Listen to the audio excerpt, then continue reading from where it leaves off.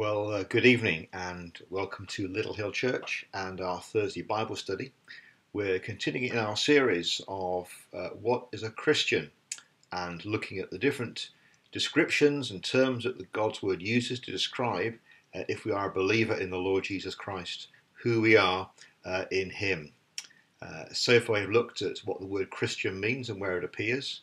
Uh, we thought about the fact that Christians are disciples, followers of the Lord Jesus, the fact that we become sons and heirs with Christ uh, in God the Father's family, uh, that we have been like sheep, we've been saved from our wandering, we've been rescued, and are now secure in the fold of the Lord Jesus.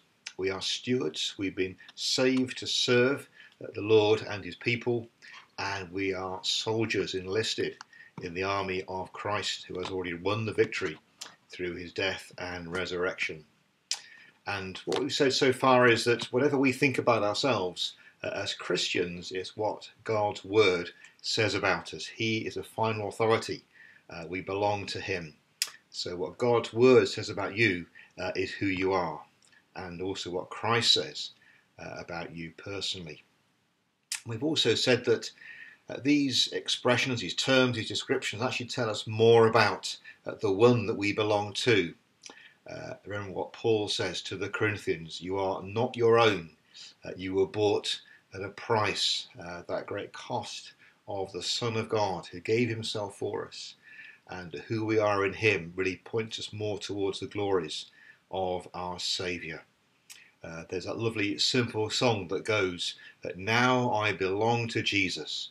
Jesus belongs to me, not for the years of time alone, but for eternity. Uh, one of those many simple songs that just encapsulate uh, the profound truth of the testimony uh, that every true believer uh, in the Lord Jesus Christ is. And the fact that we belong to Christ, that makes us a witness to Him. Uh, we are automatically uh, a witness, and we'll be looking at that uh, this evening. But it also tells us how we should be living to honour Him, how we should be living to witness uh, to our Lord Jesus. Uh, and again, that verse we've mentioned before that's so helpful in practical application of who we are in our day to day living Paul says in Philippians 3 and verse 16. This is the NIV rendering, which I think is really helpful. Uh, let us live up. Uh, in the ESV, it's hold true. Let us live up to what uh, we have already attained. Of course, what we've attained is in through Christ Jesus, uh, by his grace and mercy. Uh, we are now to live up to that, to work out our salvation in fear and trembling as God works in us to will and to act according to his good pleasure. So this is what I am in Christ, my Lord and Saviour. So therefore, this uh, is how I should live. Well, let's uh, turn to God's Word then, and then we'll pray, and then we'll start looking at uh, this title for this week, A Witness, A Witness. So please turn in God's Word to uh, the book of Acts, and this is one of the summaries of uh, the Lord Jesus' parting words to his disciples before he ascended to return to the Father. Acts chapter 1 and uh, verse 8. Actually, we'll read from verse 6. Acts 1 verse 6. So when they'd come together, they asked him, Lord, will you at this time restore the kingdom to Israel? But he said to them, It is not for you to know the times or seasons the Father has fixed by his own authority. But you'll receive power when the Holy Spirit has come upon you and you will be my witnesses in Jerusalem and in all Judea and Samaria and to the ends of the earth. I now turn to Acts uh, chapter 10 and verse 34, and uh, we'll see something of that, uh, that in action. Acts chapter 10 and verse 34. This is Peter preaching the gospel to the Roman centurion Cornelius, a Gentile with his family and soldiers, uh, waiting to hear the word of God. So Peter opened his mouth and said, Truly I understand that God shows no partiality. But in every nation, anyone who fears him and does what is right is acceptable to him. As for the word that he sent to Israel, preaching good news of peace through Jesus Christ, he is Lord of all. You yourselves know what happened throughout all Judea, beginning from Galilee after the baptism that John proclaimed, how God anointed Jesus of Nazareth with the Holy Spirit and with power. He went about doing good and healing all who were oppressed by the devil, for God was with him and we are witnesses of all that he did, both in the country of the Jews and in Jerusalem. They put him to death by hanging him on a tree, but God raised him on the third day and caused him to appear, not to all the people, but to us, who had been chosen by God as witnesses, who ate and drank with him after he rose from the dead. And he commanded us to preach to the people and to testify that he is the one appointed by God to be judge of the living and the dead. To him all the prophets bear witness that everyone who believes in his name receives forgiveness of sins through his name. While Peter was still saying these things, the Holy Spirit fell on all who heard the word. And the believers from among the circumcised who had come with Peter were amazed, because the gift of the Holy Spirit was poured out even on the Gentiles for they were hearing them speaking in tongues and extolling God. Then Peter declared, Can anyone withhold water from baptizing these people who have received the Holy Spirit just as we have? And he commanded them to be baptized in the name of Jesus Christ. Then they asked him to remain for some days. Well, let's pray, shall we?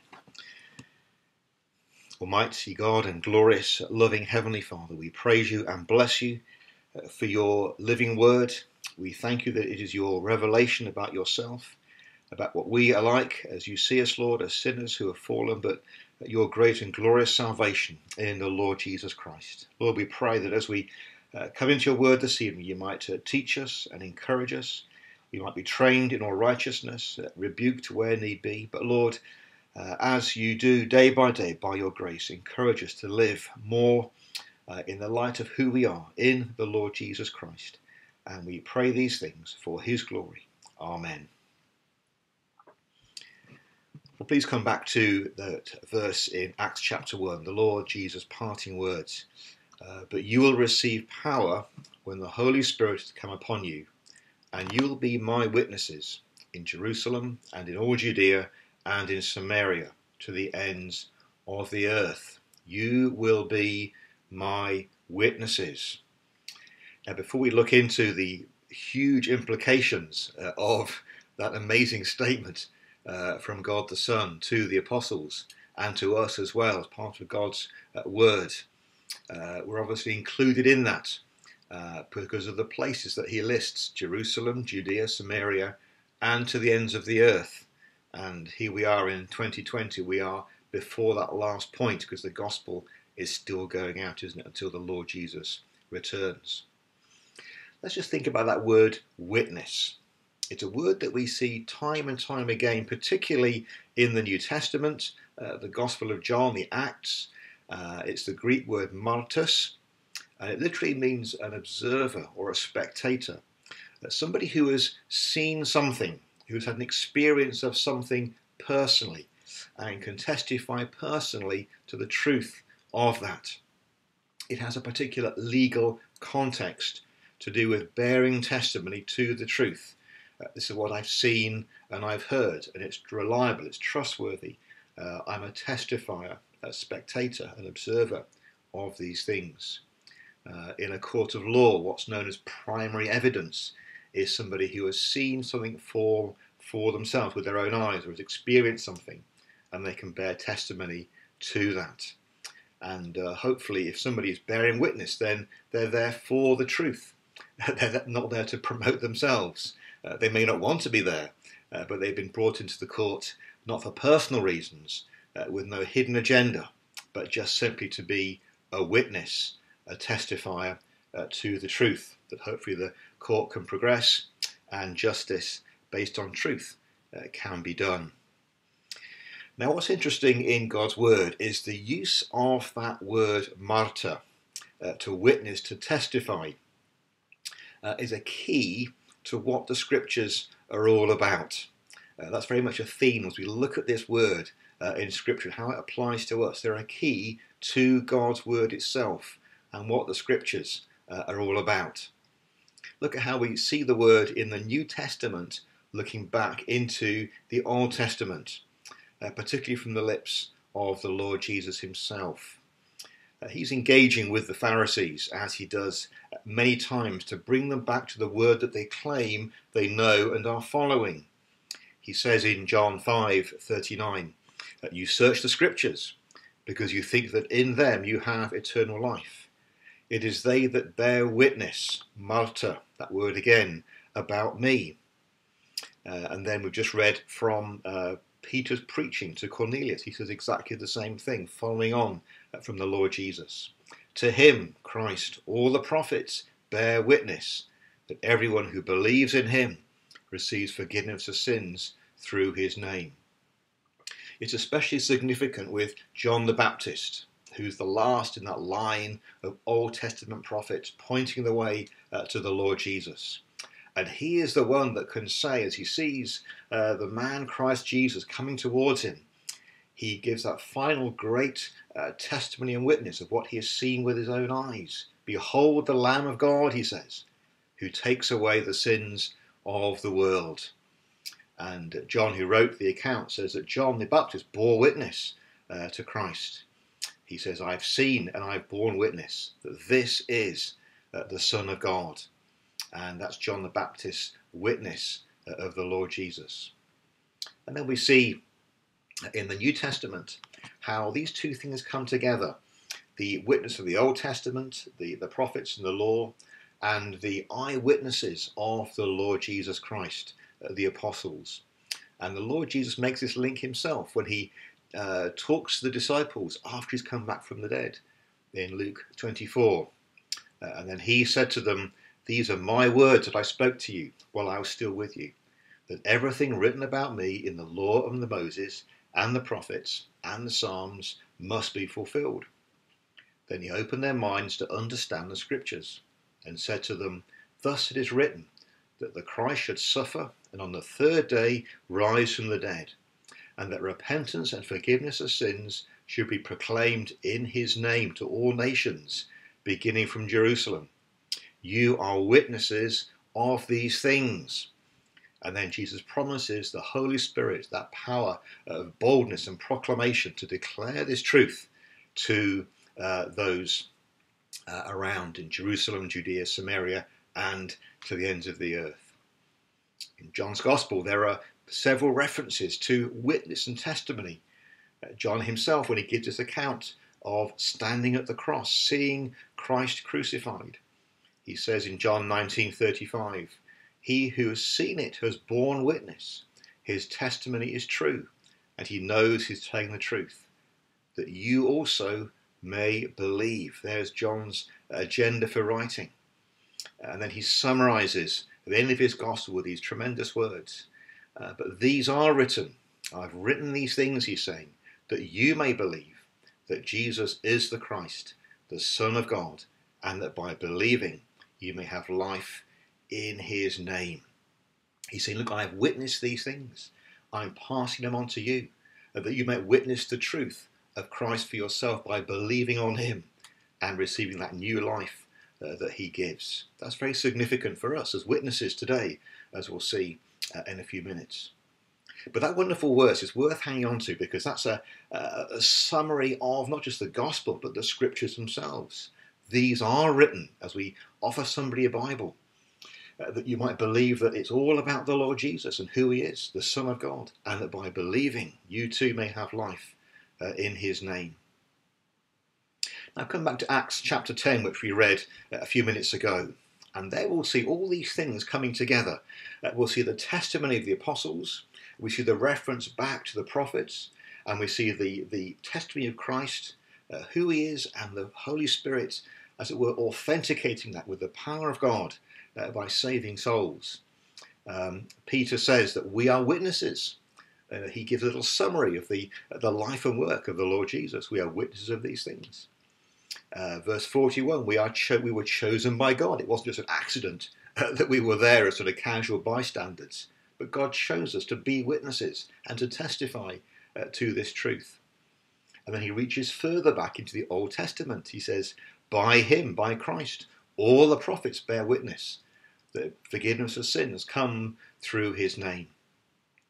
And then while he's still preaching these things, the power of God falls uh, on those uh, Gentiles. The Holy Spirit comes. Uh, they testify that sign using uh, different languages, tongues, it was the Holy Spirit's authenticating sign uh, that they were indeed saved and that they, they, the power of God had come to them.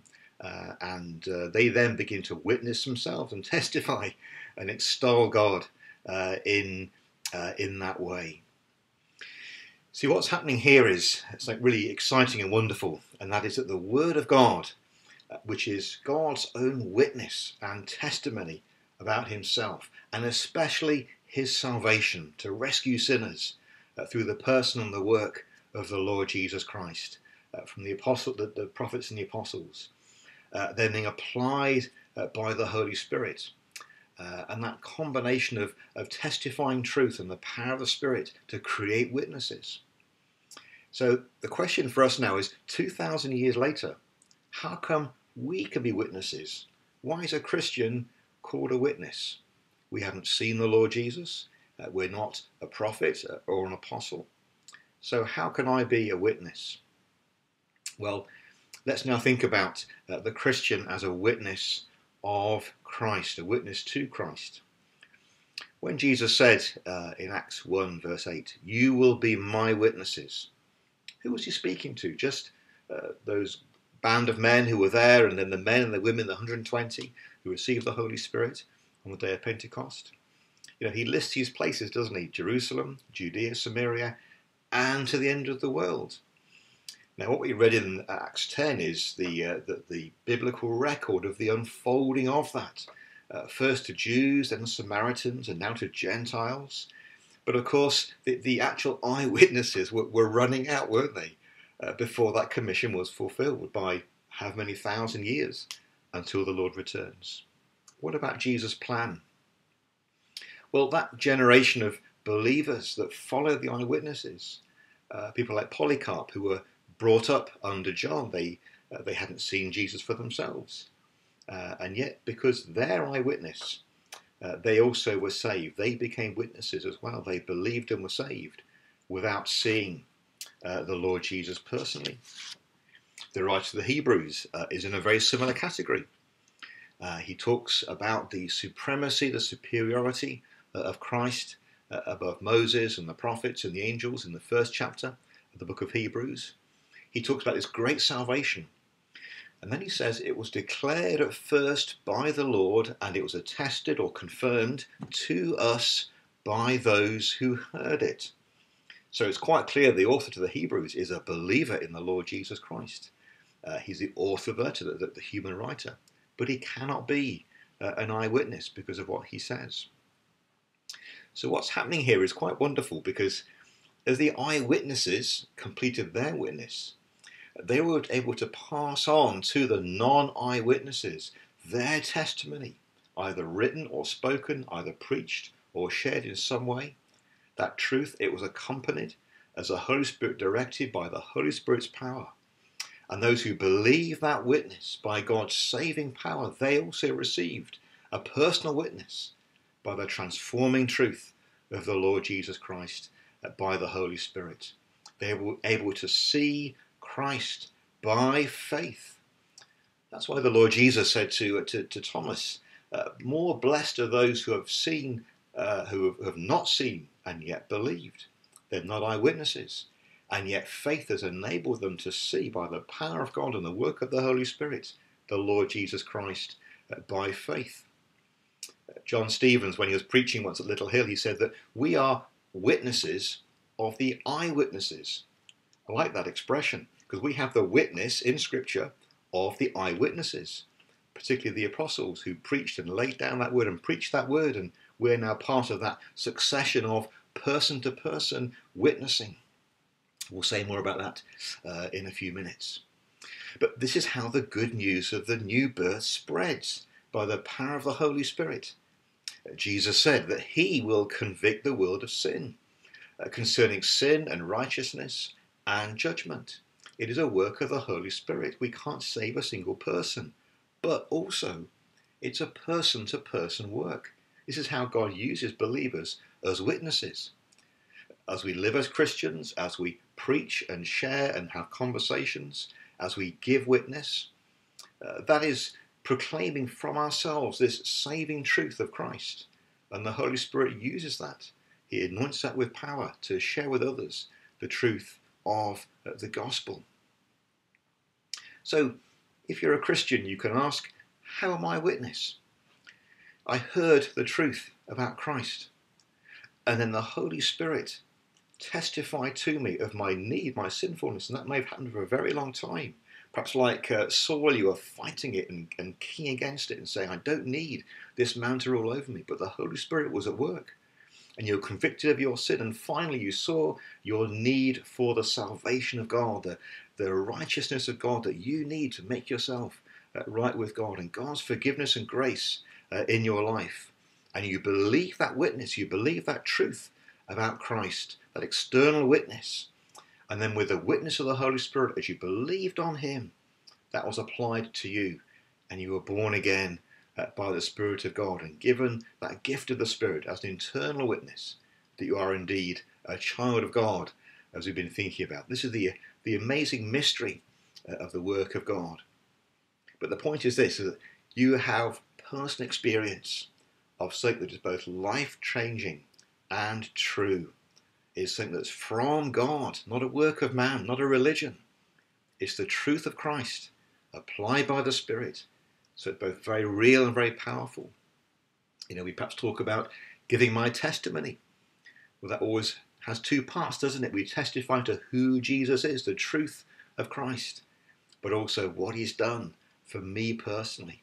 It's that truth applied by transforming the person from a sinner to a saint, from an unbeliever and a rebel to someone who loves the Lord Jesus with a, a living hope in the Saviour. And that's why a witness really is just a, a, herald or a conveyor of that good news. We, we give nothing of ourselves apart from the fact that we have this need of salvation. And then the Saviour came and granted us uh, new life uh, through Himself. We have that personal testimony. It's no wonder that we have this great treasure of Christ's transformation in our hearts in these earthen vessels. Uh, when Paul is writing to the Corinthians, he, uh, he says this. Uh, this is 2 Corinthians 4 and verse 5. For what we proclaim is not ourselves, but Jesus Christ as Lord, with ourselves as your servants for Jesus' sake.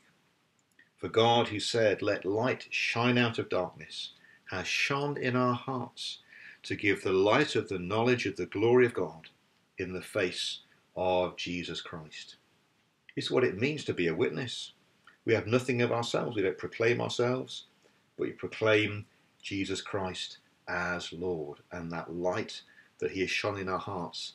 We might know Him and share and share Him.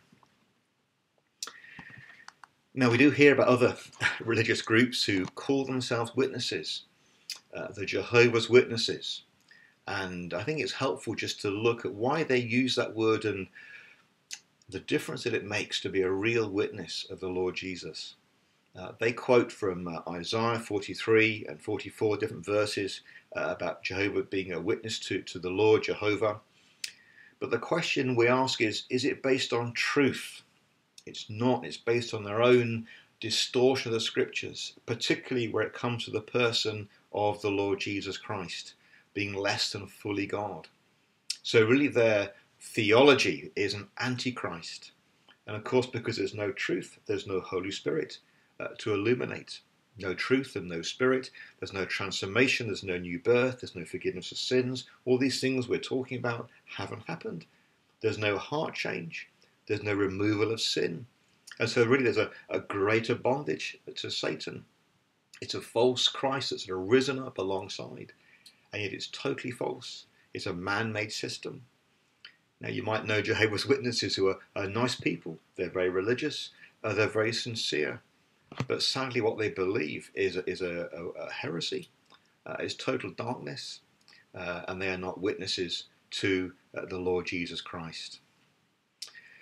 Well, then let's secondly move on to uh, our second point. This is the second and final one of two points. Uh, we said, the Christian, you are a witness of Christ. That is what you are. But the question then is, I feel so inadequate as a witness. And often we say, I, I'm, I wish I was better at this. I'm such a bad witness at testifying in my own life to uh, how great the Lord Jesus is and to direct people to him. So, secondly, then, how to be a witness worthy of Christ, how to be a witness worthy of the Lord Jesus Christ. We feel we let our Saviour down, don't we? And uh, sadly, what happens then, we get very self piteous, uh, kind of inverted pride comes in, and we fall into the hands of the enemy. It's a time honoured tactic to disable our witness, to make us feel I'm no good, I'm useless, I can't do anything. But what we've seen from God's word is if you are a Christian, if you're a child of God, then you already are a witness. You've got that personal experience of the saving truth of Christ. This is what you are. So the question now is how can I live up to being that witness? How can I do that? I can't be like somebody else. It's got to be uh, me through the personality that God's given me. Yes, I'm being renewed and sanctified day by day, but how can I be that witness to promote my Saviour uh, to the unsaved, that they too might come to believe and be saved themselves and become witnesses? Because God's word says this is His way. It's His way to do it like this. It's person to person as we testify uh, to the Lord Jesus. Well, John the Baptist said a very helpful thing, which uh, we, we can apply to ourselves, which is, I think is the, is the answer to this. Uh, and that is this very simply uh, that He, the Lord Jesus, must become greater and I must become less. He must become greater, I must become less. And what John did there was to define the, the spiritual battle, the struggle, uh, as day by day we lift up Christ in our own lives. We become more Christ like and less self centered, less self consumed, less concerned what others think about us, but more concerned of what they think about our glorious Saviour, uh, who is the King of Kings and the Lord of Lords. He is gr- the greatest, uh, but he must become greater in my life, in my witness. Just think for a minute back to that courtroom uh, analogy that we started with. This time there are two witnesses uh, to uh, some crime scene, and one just an ordinary person from the street doesn't want to be there, uh, but happen to witness this thing going on and can testify to uh, what they've seen and heard. But the other witness is a well known TV celebrity, a personality uh, who has an appearance to maintain. Uh, and now they're in court. And of course, they dress up, they've got to keep that persona which they've got. Uh, from their celebrity lifestyle, they can't just appear as uh, the man or the woman in the street. Uh, they've got to be there with all their kind of stuff that people are familiar with and be that celebrity in the courtroom. Now, if you were the judge uh, or on the uh, panel of jurists, whose testimony do you think will be the most authentic? Who would be the most trustworthy? The one who wants to draw attention to themselves, or the one who's simply there to convey what they've seen and heard? Well, there's a lesson there, isn't there? Because the less of self we are, the more of Jesus that we want to promote, the better witnesses that we will be. And God has given us some very simple helps to do that, to know Him better, to love Him more, and to honour His name. And here we come back to what we've already talked about uh, in our study, and that is the scriptures.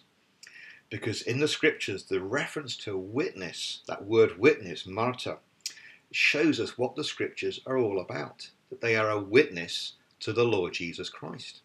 So as we read the Bible, as we study the scriptures, what we're reading is a timeline of God's salvation plan, his salvation promises, that we are meeting the Lord Jesus Christ in the scriptures. So as you're reading God's word, always ask yourself the question what is this teaching me about either directly the person of Jesus or my need for more of the Lord Jesus? What does it show me about him in the Word of God? Because it is all about him. He said so. The law, the prophets, Moses, all testifies to him. He said that. So you can ask that question and pray and expect the Holy Spirit as you pray sincerely to, to feed more upon his word uh, to give you an answer to that. You see, our daily witness of Christ in his word then helps us in our daily witness to Christ.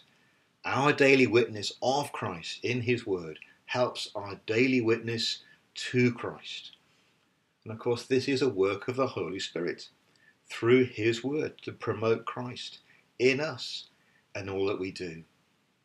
Paul encourages the Colossians with this amazing thing. He says, uh, To the saints, God has chosen to make known how great among the Gentiles are the riches of the glory of this mystery.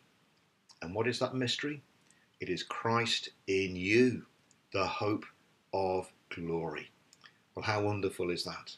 This is a work of God, but we are involved in this as we meditate on the Word of God and pray and study and long to love and serve uh, Christ more. And if that intention is in our hearts, uh, then God will bless that and encourage us uh, in our witness as we seek opportunities to speak for our Saviour. And as we search the scriptures, we can also use the Word of God in our witness. As we uh, verse ourselves in the Word of God, little things will come out up. We'll have little patterns of speech and, and we'll be able to quote certain verses that relate to the gospel and the person of the Lord Jesus. You know, Paul says, doesn't he, as he opens that book to the Romans, I'm not ashamed of the gospel. I'm not ashamed to talk about uh, the saving work of the person of the Lord Jesus because it's the power of God for salvation to everyone who believes. See, he's put his faith and trust in that testimony, in that witness of the Word of God. So he knows he can quote the Word confidently that it's the power of God unto salvation for all who believe in that Word. Now, in the days at the moment with the, uh, the, the, coronavirus, we've been told, haven't we, to, to socially distance. Uh, because if we do that, if we prevent that person to person contact, uh, then it will stop the spread. And hopefully, the disease uh, will not be as, as effective as it could be. But with the gospel, it's the opposite. Uh, in our witness, we mustn't engage with social distancing because the gospel spreads person to person as the Holy Spirit testifies about Christ. It's the power of God uh, in us, uh, but it spreads person to person through your testimony. And that can be through your words, your actions, your, your reactions, just how we are with people as believers. Uh, if we are in the scriptures serving the Lord and, and, and worshipping Him and thanking Him, then something about Christ likeness will, will come out as well. That's why we're studying all these different aspects of being a Christian what it means to, to be a disciple, a son, a steward, a sheep, a soldier. That's all part of our Christ likeness, part of our witness to Him and our witness for Him. Well, as we conclude, let me just give you a, a final encouragement. Uh, we've talked about the scriptures as a witness to God's truth, and uh, particularly the person of the Lord Jesus Christ. But also, if you're a Christian, you are becoming part of that story. You're becoming part of the great uh, cloud of witnesses, and you can see uh, where we're going as we conclude here, who have gone before us, who have finished the race of faith. They have testified, they have witnessed to the saving and the keeping and the finishing power uh, of the Lord Jesus Christ. And they too encourage us as we think of those who've gone before but they also uh, give us some very practical helps as we aim to live not for ourselves, uh, but for the Lord Jesus, that He might become greater and we might become less. So let's just turn, shall we, finally to uh, Hebrews 12. And these are well known verses, but we come back to them time and time again. They're so helpful, so encouraging. Hebrews 12 and verse 1. Therefore, since we are surrounded by so great a cloud of witnesses, let us also lay aside every weight and the sin which clings so closely. Let us run with endurance the race that is set before us, looking to Jesus, the founder and perfecter of our faith, who for the joy that was set before him endured the cross, despising the shame, and is seated at the right hand of the throne of God. Consider him who endured from sinners such hostility against himself so that you may not grow weary or faint hearted. You see, as we think of those who've gone before, who've completed the race, they direct our thoughts to the Lord Jesus Christ, who finished his race. He laid down his life, he entrusted his life to his heavenly Father. He proved the work that he came to do. So those who follow on after him can say, yes, he is worth it. As we prove the, the strength and the genuineness of our, of our faith in him, our faith might seem weak, mightn't it? But at the end of the day, the Lord Jesus uh, is worth it, even to the point of personal loss, uh, giving up our own lives. You know, we thought about discipleship, and uh, discipleship and witness are very much part of the same thing. A disciple witnesses to the one uh, that he or she has become uh, a follower of. We demonstrate his, his lordship over our lives, uh, but also our love for him, even the ultimate cost this is why the Lord Jesus talked about taking up our cross and following Him, that symbol of our own death. This is why Paul talks about being crucified uh, with Christ. We've got a very powerful example of this with the first martyr, uh, which is where we get that word from a witness even unto death. Uh, it was Stephen in Acts chapter 7. And uh, you know, as Stephen preaches to the Pharisees, he testifies more and more about Christ from the scriptures, from the Old Testament. He becomes more full of Christ, doesn't he? As their anger gets more and more intense. As they pick up stones, he sees a vision of Christ, which he describes Christ uh, in his glory. And then he finally sees him uh, with his own eyes. And uh, as he gives that final uh, witness uh, to uh, his Saviour. Because, of course, he knows, as we know, that in Christ, death is not the end. It's not a hopeless sacrifice because we have faith in Christ who passed through death, who's risen from the dead, the first fruits uh, from the dead. He is the living hope that is worth dying for. He is that living hope that is worth you and me dying for if our witness should cost us that. And of course, He would give us the grace and the strength, as He did Stephen, who probably wasn't expecting that at all but he glorified Christ ultimately uh, by giving his life. So, as we conclude, as we think about being a witness, again, it points more to the one we witness to, and uh, may we know more of that Christ likeness, that grace, that strength, that love, that desire to honour him in our life and our witness. Let us live up, Paul says, to what we have already attained in him and for his glory. Amen. Well, let's uh, praise you and ask God's help in these things. Lord, as uh, human beings, as men whom we feel such uh, failures, but Lord, we thank you that you have placed this great treasure of the knowledge of the glory of yourself in the face of our wonderful Saviour, the Lord Jesus Christ, the God who is man, who came to be our Saviour. We thank you, Lord, that although we feel fragile earthen vessels, Lord, we pray that you would use us. Lord, this is your way uh, to use uh, weak vessels such as us so that you might have all the glory, that men uh, and women who are outside Christ might see the Lord Jesus Christ through our words, through our testimony, through our witness.